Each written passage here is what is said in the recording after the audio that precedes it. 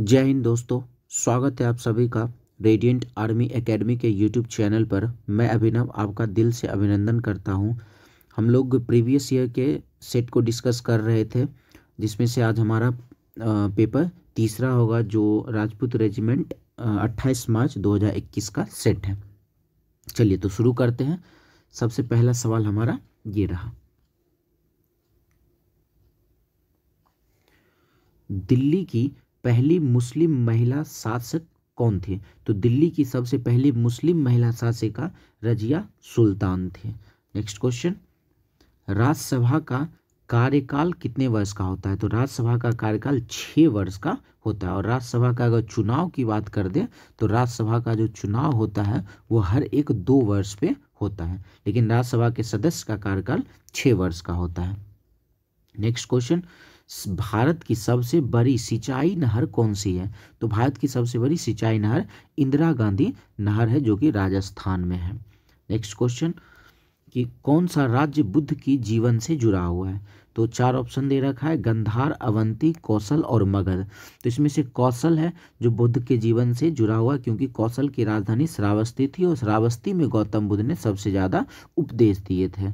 Next question किस प्रकार की वायु में पूरी क्षमता से नमी होती है? तो पूरी क्षमता से नमी, संतृप्त वायु में पूरी क्षमता से नमी होती है। नेक्स्ट क्वेश्चन है हमारा। कौन सी धौलाधार श्रेणी की एक महत्वपूर्ण जनजाति है? तो धौलाधार श्रेणी की महत्वपूर्ण जनजाति है गद्दी, जो हिमाचल प्रदेश में पाई जाती है। Next question. कर्नाटक के मणिपाल में किस बैंक का मुख्यालय है? कर्नाटक के मणिपाल में सिंडिकेट बैंक का मुख्यालय है। Next question. अठारह के शिकागो में विश्व धर्म संसद के तूफानी हिंदू के रूप में किसे सराहा गया? तो तूफानी हिंदू के, तूफानी हिंदू के रूप में सराहा गया था शिकागो में स्वामी विवेकानंद को अठारह ईस्वी में। नेक्स्ट क्वेश्चन है मीनामक्कम अंतर्राष्ट्रीय हवाई अड्डा कहाँ है? तो मीनामक्कम अंतर्राष्ट्रीय हवाई अड्डा चेन्नई में है। नेक्स्ट क्वेश्चन भारत में महत्वपूर्ण यूरेनियम खदान कहाँ है? तो जादूगुरह में यूरेनियम का खदान है। अगला क्वेश्चन है, कांग्रेस का पहला सत्र कहाँ आयोजित किया गया? तो कांग्रेस का सबसे पहला सत्र बॉम्बे में आयोजित किया गया था। नेक्स्ट क्वेश्चन है कंबाला दौड़ एक पारंपरिक भैंस दौड़ है जो कहाँ आयोजित होती है? तो कंबाला दौड़ कर्नाटक में आयोजित होती है। नेक्स्ट क्वेश्चन है, प्राइम मेरिडियन कितनी डिग्री मेरिडियन पर स्थित होता है? तो प्राइम मेरिडियन ज़ीरो डिग्री देशांतर पर स्थित होता है। नेक्स्ट क्वेश्चन, लाल बहादुर शास्त्री राष्ट्रीय प्रशासन एकेडमी कहाँ है? तो लाल बहादुर शास्त्री राष्ट्रीय राष्ट्रीय प्रशासन एकेडमी मसूरी में है। नेक्स्ट क्वेश्चन है.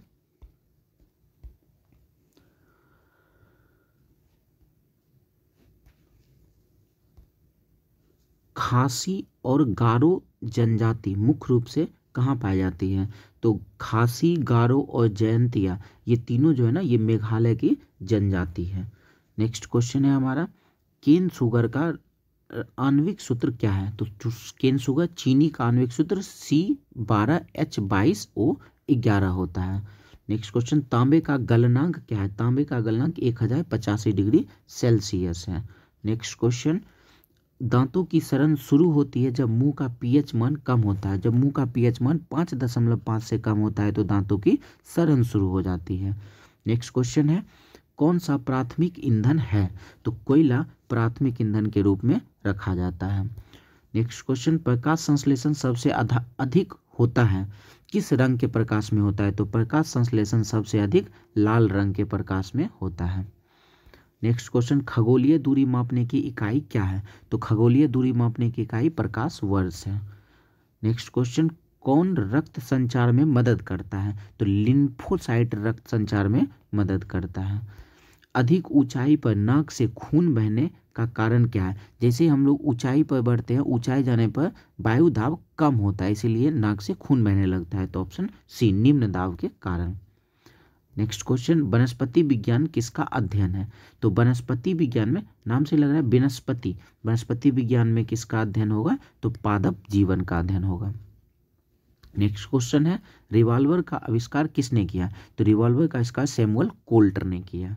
नेक्स्ट क्वेश्चन कोरोनाग्राफी का प्रयोग कहाँ होता है? कोरोनाग्राफ का प्रयोग सूर्य की तस्वीर लेने में किया जाता है। हर्टज किसकी इकाई है? तो हर्टज आवृत्ति की इकाई है। नेक्स्ट क्वेश्चन सबसे पहला गणना उपकरण कौन सा है? तो सबसे पहला गणना उपकरण अवेकस है। नेक्स्ट क्वेश्चन किसे आर्टिफिशियल इंटेलिजेंसी का जनक कहा जाता है? आर्टिफिशियल इंटेलिजेंसी एआई का जनक कहा जाता है जॉन मैकार्टी को। नेक्स्ट क्वेश्चन वायु गतिकी क्या है? तो वायु गतिकी वायु और गैस के प्रभाव में गति का विज्ञान है। ऑप्शन नंबर बी नेक्स्ट हम लोग मैथ के सवाल में आते मैथ के सवाल के लिए हमने स्पेस बना रखा है इस बार। चलिए तो नेक्स्ट क्वेश्चन हमारा है। एक व्यक्ति एक व्यक्ति तीन सौ आमों को चार सौ आमों के क्रय मूल्य पर बेचता है तो उसका लाभ प्रतिशत क्या है?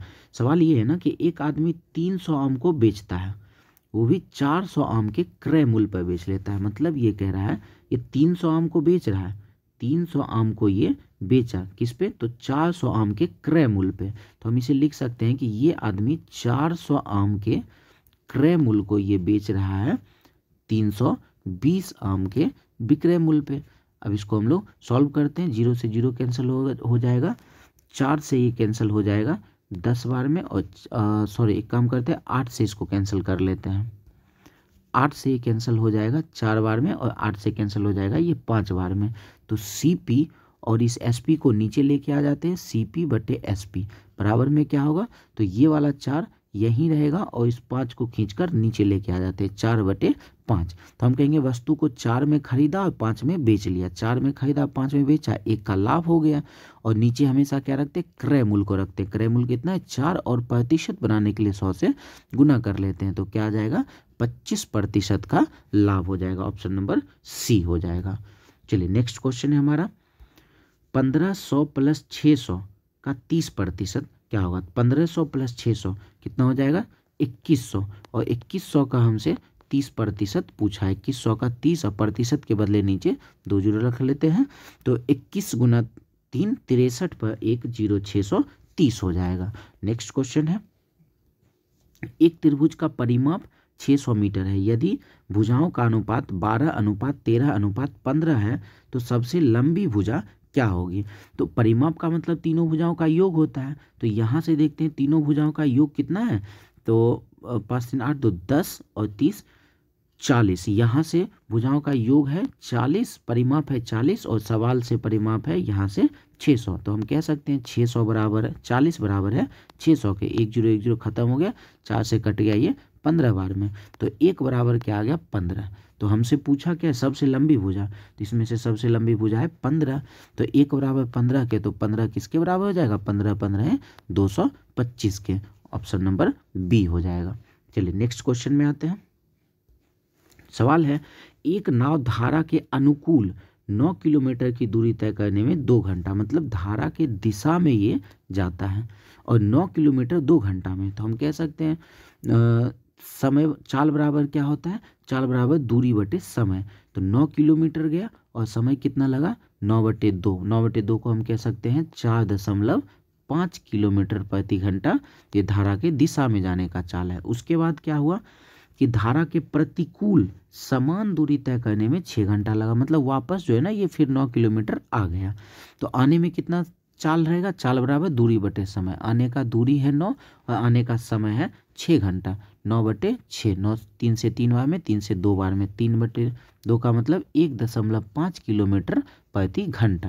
तो इधर से जाने का चार दशमलव पाँच किलोमीटर प्रति घंटा और आने का चाल है एक दशमलव पाँच किलोमीटर प्रति घंटा।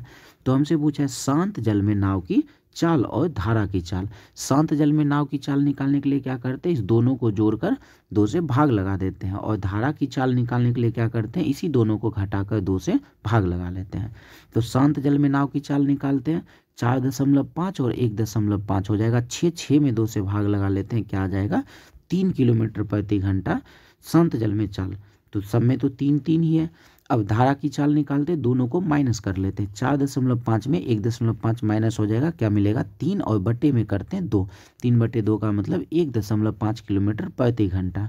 तो क्या क्या आया था? पहले आया था तीन और एक दशमलव पाँच। तो कहाँ है? ऑप्शन नंबर एक में तीन और एक दशमलव पाँच। Next question. शब्द arise A R I S E के अक्षर को कितने विभिन्न तरीकों से व्यवस्थित किया जा सकता है? मतलब इस अराइज को कितने तरीकों से लिखा जा सकता है? ऐसे सवाल में क्या करते हैं? टोटल लेटर देखते हैं कितना है। एक, दो, तीन, चार, पाँच है। तो क्या करते हैं? पाँच एक बार देख लेते हैं। कोई रिपीट भी है, कोई लेटर रिपीट नहीं है। तो पाँच गुना चार गुना तीन गुना दो गुना एक कर लेते हैं। पंचों के बीस बीस दिया साठ साठ गुना एक सौ बीस। ऑप्शन सी हो जाएगा। Next question. एक परिमेय और एक अपरिमेय संख्या का गुणनफल क्या होता है? तो एक परिमेय संख्या, एक अपरिमेय संख्या का गुणनफल हमेशा अपरिमेय होता है। नेक्स्ट क्वेश्चन है हमारा। तीन, सात, पच्चीस, तेरह, उन्नीस उन्नीस तेरह। और आगे का संख्या पूछा गया, काम करते हैं अल्टरनेट में लेके चलते सात से तेरह छः बढ़ा है। तेरह से उन्नीस छः बढ़ा है। उन्नीस से हम लोग एक छोड़ कर आगे बढ़ जाते हैं। छः कितना हो जाएगा? उन्नीस छः हो जाएगा। पच्चीस ऑप्शन नंबर सी हो जाएगा। चलिए नेक्स्ट क्वेश्चन पे आते हैं। एक बहुभुज की चौवालीस विकर्ण है तो इसकी भुजाओं की संख्या क्या है? तो जब भी ये विकर्णों, विकर्ण वाला सवाल आए तो विकर्णों की संख्या बराबर एक फॉर्मूला होता है n into n minus three by two इस पर क्या होता है? विकर्ण की संख्या निकल कर आ जाता है। तो एक काम करते हैं, हम बाय ऑप्शन चेक कर लेते हैं। एन की जगह दस रखते हैं, अगर चौवालीस आएगा तो हमारा ऑप्शन दस हो जाएगा। फिर उसी अगर नहीं आएगा तो बारह पे चेक करेंगे, ग्यारह, उसके बाद तेरह पे चेक करेंगे। अगर दस पे चेक करते हैं एन की जगह दस और एन माइनस तीन हो जाएगा, सात। दस में से तीन गया सात, बटे दो रख लेते दो से पाँच कर जाएगा, सात पचे पैंतीस, जबकि होना चाहिए था चौवालीस तो ये होगा नहीं। दूसरे ऑप्शन बारह को चेक करते हैं बारह गुना बारह में से तीन जाएगा। नौ और बटे में दो कर लेते हैं। दो से छः बार में नौ छक्के चौवन। ये भी नहीं होगा। ग्यारह चेक करते ग्यारह गुना ग्यारह में से तीन चला जाएगा आठ और दो से भाग लगाते हैं। ये कट गया चार बार में ग्यारह चौके चौवालीस। तो ग्यारह रखने पर चौवालीस आ गया तो ऑप्शन नंबर सी हो जाएगा। भुजाओं की संख्या ग्यारह होगा। नेक्स्ट क्वेश्चन यदि एक घटना नहीं घटती है तो प्रायिकता क्या होगी? कोई घटना घटती नहीं है तो प्रायिकता इसकी शून्य हो जाएगी। नेक्स्ट क्वेश्चन है। दो संख्याओं का अंतर दो है, उनके वर्गों का अंतर अट्ठाईस है तो संख्याओं का योग क्या होगा? ये कह रहा है ना, दो संख्याओं का अंतर ए माइनस बी ये दो है। और ये कहा उनके वर्गों का अंतर, वर्गों का मतलब a square minus b square, ये कितना है? अट्ठाईस है। तो हमसे योग पूछा है। तो हम जानते हैं a square minus b square क्या होता है? A square minus b square होता है a plus b into a minus b. ये दे रखा है अट्ठाईस। अब ए माइनस बी की जगह पर हम लोग दो रख लेते हैं। इस दो से ये कट जाएगा चौदह बार में। तो ए प्लस बी का मान क्या हो जाएगा? चौदह, option number D. Next question है। पंद्रह सौ अंठानवे मिलीग्राम को ग्राम में बदलना है। तो मिलीग्राम को ग्राम में बदलने के लिए हज़ार से भाग लगा देते हैं। हज़ार से भाग लगाने का मतलब क्या है? तो नीचे तीन ज़ीरो है तो तीन अंक के बाद लगा देते हैं पॉइंट एक दशमलव पाँच नौ आठ, एक दशमलव पाँच नौ आठ ऑप्शन नंबर डी हो जाएगा। चलिए नेक्स्ट क्वेश्चन में आते हैं। अब सवाल है, एक बल्लेबाज अपनी बारहवीं पारी में तिरसठ रन बनाता है। जिससे उसकी औसत रन में दो की वृद्धि हो जाती है तो बारहवीं पारी के बाद औसत क्या होगा? ऐसे सवाल के लिए क्या करते हैं ना? बारहवीं पारी में ये तिरसठ रन बनाया इसका मतलब ये है कि ग्यारहवीं पारी तक तो इसका कुछ औसत होगा। मान लेते हैं ग्यारहवीं पारी में औसत एक्स है। अब ये बारहवीं पारी में क्या हुआ? जैसे ही तिरसठ रन बनाता है, औसत दो बढ़ जाता है। पहले औसत हम लोग एक्स माने, अब औसत बढ़ गया। कितना हो गया? एक्स प्लस दो हो गया। अब क्या करते? हैं यहाँ से देखते हैं, औसत कितना बढ़ा तो दो बढ़ा। मैच कितना बढ़ा तो एक पारी बढ़ा। अब इस एक का गुना इस एक्स से और दो का गुना कर लेते हैं इस बारह से। तो एक गुना एक्स हो जाएगा एक्स बारह को दो से गुना कर लेते हैं, प्लस दो को बारह से बारह गुना चौबीस, और यही बराबर में क्या है तो कितना रन बनाया था तो तिरसठ रन बनाया था, तिरसठ यहाँ रख लेते हैं तो प्लस चौबीस को इधर भेज देते हैं, माइनस चौबीस हो जाएगा तो तिरसठ में से चौबीस माइनस करते हैं, क्या मिल जाएगा, उनचालीस तो एक्स का मान उनचालीस आया तो ये उनचालीस ग्यारहवीं पारी तक का है एक्स हम लोग ग्यारहवीं पारी तक का माने थे, हमसे पूछा है बारहवीं पारी में तो बारहवीं में दो बढ़ गया था ना तो बारहवीं में दो बढ़ चुका है, उनचालीस था और दो बढ़ गया तो उनचालीस दो कितना हो जाएगा? इकतालीस। तो बारहवीं पारी के बाद औसत हो जाएगा इकतालीस रन का। चलिए नेक्स्ट क्वेश्चन में आते हैं, इकतालीस बयालीस तैतालीस नंबर। चलिए, हमारा सवाल है, सात लड़कों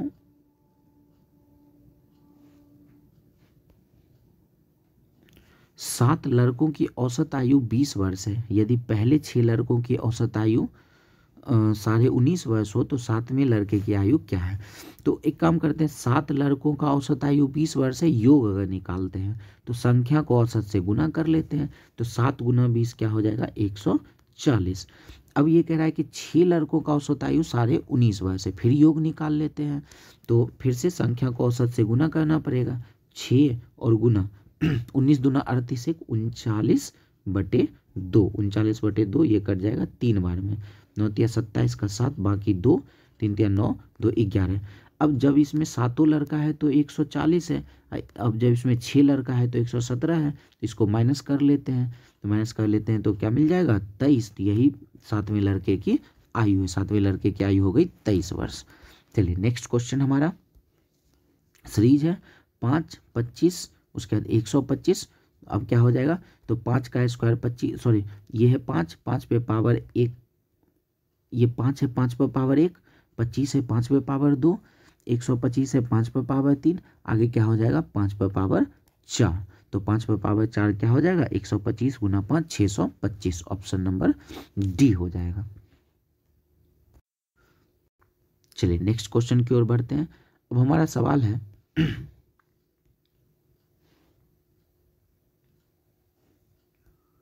अब हमारा सवाल है, ए और बी किसी काम को क्रमशः दस दिन और पंद्रह दिन में पूरा कर सकते हैं। यदि एक काम प्रारंभ करता है और बारी बारी से काम करता है तो कितने दिनों में काम पूरा होगा?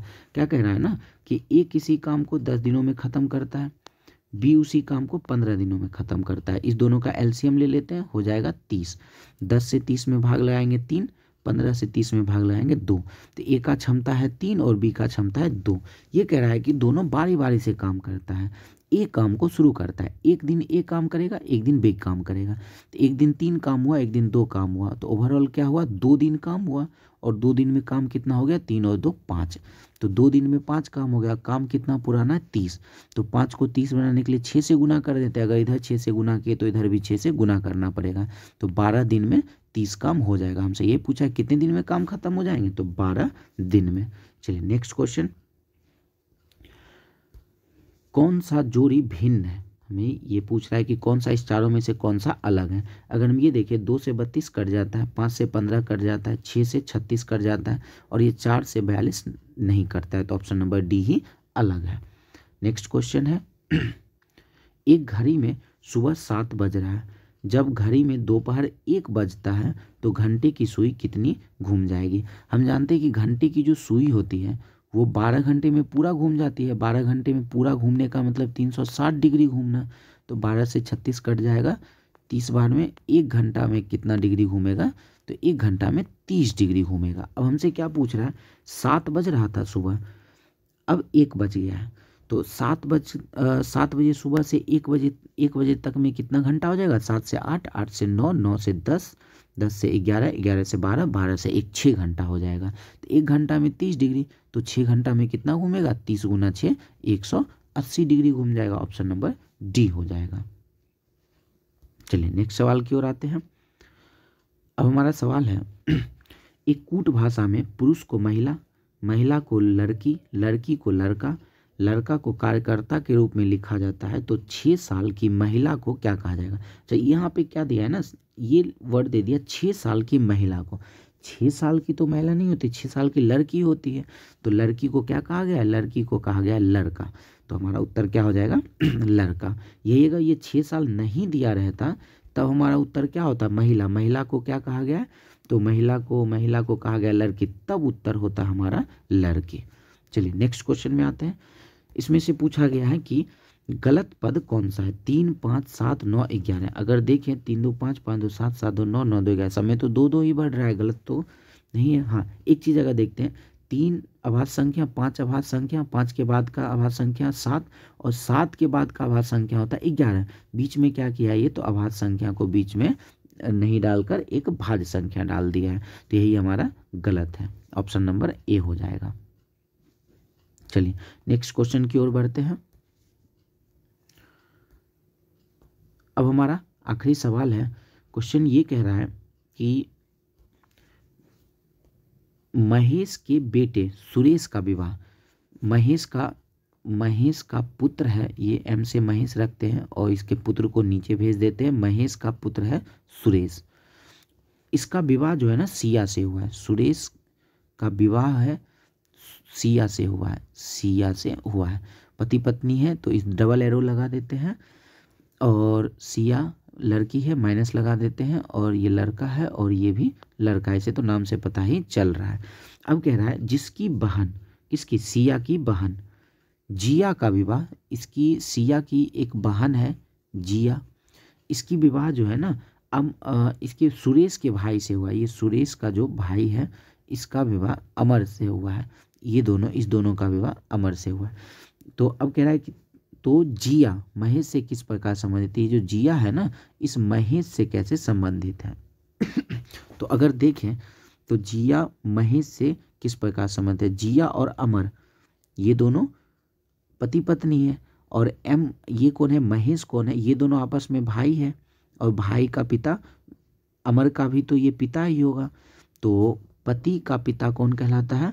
तो पति का पिता ससुर कहलाता है। तो एम ससुर हो जाएगी और ये जिया बहू हो जाएगी। तो हमसे क्या पूछा है? जिया, महेश से कैसे संबंधित है? मतलब जिया कौन है? तो जिया बहू है, ऑप्शन नंबर ए हो जाएगा। चलिए तो आशा करते हैं कि आज का वीडियो आपको पसंद आया होगा।